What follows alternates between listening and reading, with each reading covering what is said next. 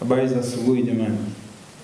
Mimi naitwa Ben Paul, msanii wa muziki, champion wa Umoja wa Mataifa katika malengo ya maendeleo endelevu, balozi wa mazingira kupitia Wizara ya Nchi, Ofisi ya Makamu wa Rais, Muungano na Mazingira, balozi wa Just Dig It, balozi wa Lead Foundation, mwana mazingira.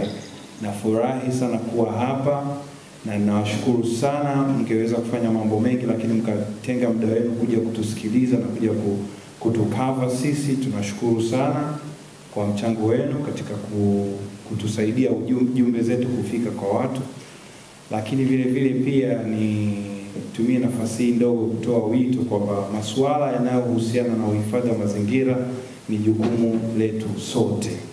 Kila mtu ana wajibu wa kuplay part yake katika kuhamasisha uhifadhi wa mazingira. Kwa hiyo tuendelee kusambaza ujumbe huo na kualika wengine waweze kushiriki pamoja na sisi. Asante. Habari za asubuhi. Uh, mimi naitwa Joe Makini, wengine mnanifahamu kama Mwamba wa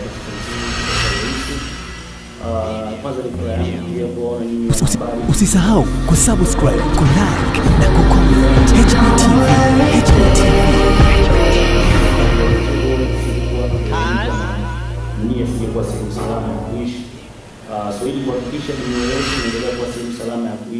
Ajili yetu na kizazi kinachokuja, ni jukumu la kila mmoja wetu kulivaa na kulibeba hili la utunzaji wa mazingira. Uh, so kwa kushirikiana na Need Foundation pamoja na Just It, mimi nimekuwa pia nikifanya nao kazi before uh, na this year amenipa tena opportunity hii ya kulitumikia taifa na dunia katika vita hii ya utunzaji wa mazingira. Uh, nafurahi kuwa balozi wa mazingira kwa sababu mazingira ni uhai na uhai sio kwangu mimi peke yangu, uh, uhai wa watoto wangu na wajukuu na, na kizazi kijacho. Kwa hiyo asanteni sana kwa kuwa hapa na nasisitiza kwamba popote ambapo mnaenda, tumieni vyombo vyenu vya habari kuhamasisha watu kwenye suala zima la utunzaji wa mazingira. Asanteni. Habari za leo zangu, kwa majina naitwa Kristina Fisho, nyumbani kwa za Injili. Kama ambavyo unaweza ukaona kidogo tofauti sana na wenzangu, lakini siku hizi mimi ndo nawahubiria sana, kwa hiyo si muda mrefu wataokoka. Ah, Namshukuru Mungu kwa kupata nafasi ya leo na kuwa kwa mara nyingine tena kutamka kama balozi mazingira kupitia shirika la Reef Foundation pamoja na Just It. Nafahamu wengi kwamba mnafahamu tulikuwa ni balozi ambaye aliteuliwa na nchi ah, katika ofisi ya rais, na nashukuru pia kwa hiyo opportunity ambayo pia nimeipata kama mwanainjili kuwakilisha wanainjili wenzangu na kuungana na ndugu zangu kwa habari ya mazingira. Mazingira uh, haitofautishi, mazingira haina mpagani, haina Mkristo wala Mwislamu. Mazingira ni ya kwetu sisi wote, na kupata nafasi hii haina maana ni ile nikitoka hapa nende sasa nikajimwambafai kwamba nao this is the new balozi mtano, lakini kupata nafasi hii maana yake ni jukumu la kuhakikisha mazingira yetu yako safi na salama kwa ustawi wa jamii yetu. Mimi nimeanza kufanya kazi na Just Dig na Lead Foundation mwaka 2019 na mpaka sasa hivi tunavyozungumza, jumla ya miti milioni tisa na milioni tisa na point tayari imekuwa restored, ime, imepewa maisha mapya kwa sababu uh, Just Dig na Lead Foundation sisi tunasema hatupandi mti, tunaotesha mti kwa kutumia njia asilia. Kuna kisiki hai na kuna njia ya kuchimba uh, makinga maji ambayo mvua ikinyesha maji yanatuama and then uoto wa asili wa eneo lile unaota. Kwa hiyo hayo ni, ni hizo ni uh, baadhi inaweza sema ni uh, baadhi ya mafanikio ambayo uh, uh, Foundation na Just Dig It wameweza kufanikisha, lakini pia um, mimi nimekuwa pia na miamvuli mbalimbali kwenye organizations zingine kama Umoja wa Mataifa ambapo kule pia tunatuma jumbe mbalimbali za kuhusiana na uhifadhi wa mazingira katika malengo ya maendeleo endelevu, lakini vile vile pia masuala yanayohusiana na uhifadhi wa mazingira hayaishii Tanzania peke yake ama hayaishii Dodoma peke yake, ni masuala ya kidunia nzima, na tunasema kila mtu mmoja akiplay part yake italeta mabadiliko.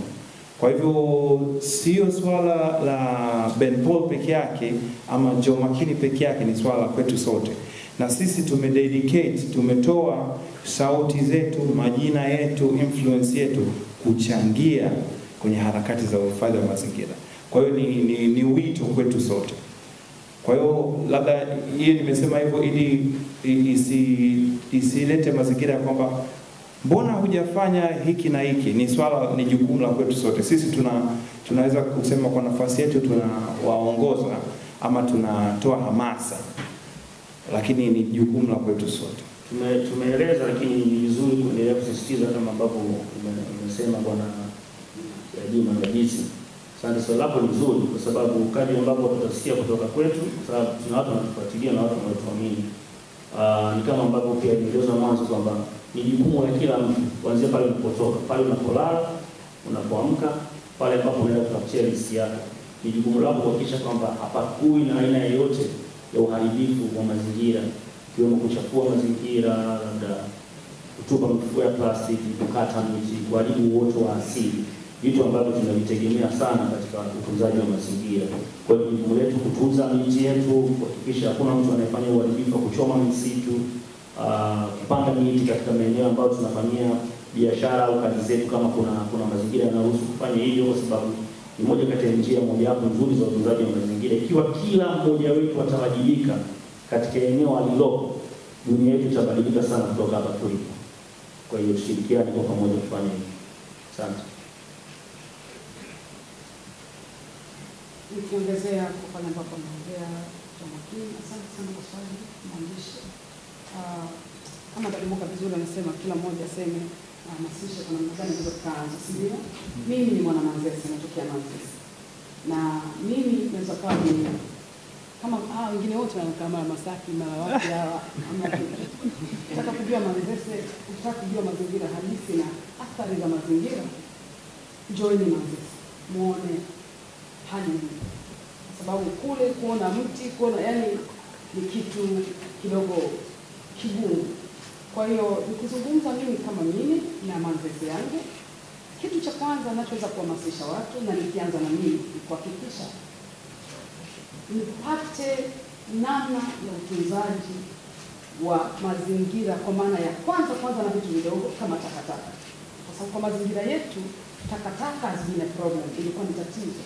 Hatuna vitu vya kuhifadhia, na nadhani hili ni jambo moja ambalo tuta- tutaongea na Lead Foundation na Just Give It, watatutembelea na mimi Manzese, watupatie vitu vya kuhifadhia takataka, lakini pia tutaendelea na jukumu la kuhakikisha hata kwa maeneo madogo tulionayo tuone kama tunaweza kupanda miti ya, ya, ya muda mrefu maybe hata ya muda mfupi, hata kupata tu maua, kwa sababu kwa Manzese hata kupata ua kwenye mlango wa mtu inakaa kama goli, lakini ndio jukumu moja wapo ambalo tunahakikisha kwamba tunalifanya ili tuone kama tunaweza tukarudisha uhai tena wa, na maisha ya watu yarudi katika hali nzuri, kwa sababu mazingira mazingira wapendwa, ni afya. Mazingira yani ni uzima, ni kitu very very important. Nikiangalia nyumbani ninapoishi na nikiangalia ni, na ndugu zangu wanapoishi hao wanakaa kama Ulaya, sisi tuko Bongo. Eh, kwa hiyo Just Dig It na Lead Foundation tukimaliza hapa tutaenda Manzese na naamini wanahabari wote watakuwepo, mtahakikisha hiki ninachokizungumza. Zia Ulaya. Hiyo Ulaya. Ulaya hiyo vipi? Wakazi, wa Ulaya wakazi wa Ulaya. Uh, uh, naomba ni, ni, nitaizungumza kwenye upande wa Kisiki Hai. Naomba ni introduce hii kwa watu na waweze kuielewa. Kisiki Hai ni, ni, ni mara nyingi kuna visiki especially mimi mara ya kwanza nakutana na Lead Foundation sehemu ambapo nilienda kutembelea ilikuwa ni Arusha Monduli kule, ni kukame sana. Kwa kila sehemu huwa kuna aina yake ya kufanya mazingira yakae sawa. Sasa nikikutajia kwenye kisiki hai, unakutana na kisiki ambao kikawaida mashambani watu wanavikata, lakini kama wakijua njia sahihi za kutumia, na nimekuwa hata nikionyesha kwenye mitandao yangu ya kijamii kwamba ukifanya hivi ni rahisi mti ule ambao tumeuzoea umeukata kama kisiki ukafanyika ukakua tunaweza kuupogelea, lakini kuna njia pia ya kuharvest maji. Kuna sehemu zile ambazo ni kame kame kame kabisa, kwamba hata ukiziangalia ni ngumu kupatikana kwa maji, wala miti au mazingira kuwa safi ni kitu kigumu. Lakini kuna aina ambayo kuna zile bands zinawekwa na hizo bands zikitengenezwa zinaweza zikahifadhi maji, baadaye zikatengeneza kitu kizuri zaidi, kukawa kuna green. So kwa mimi njia ambayo nitapenda kuendelea kushauri, kuna sehemu, kuna vijiji, kuna mitaa, kuna ambapo visiki vipo na tunaviona na tunachukulia poa, lakini kama tukiweza kuweza kujifunza jinsi ya kupogelea vile visiki, na nitaendelea kuonesha na kuonesha, kwa sababu pia nazunguka sehemu tofauti tofauti, mikoa tofauti tofauti, na vile visiki tukiweza kuvipogelea vizuri vina nafasi kubwa kabisa ya kukua na kuleta mti ambazo sehemu zetu mazingira yakaendelea kuwa safi. Lakini kikawaida, naamini ah, sio ya kwangu peke yangu, ni ya watu wote. So tukiendelea kujifunza kwa pamoja, tunaweza tukawa tuka, na mazingira mazuri zaidi Dima, I think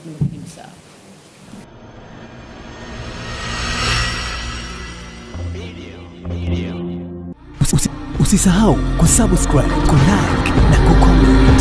TV.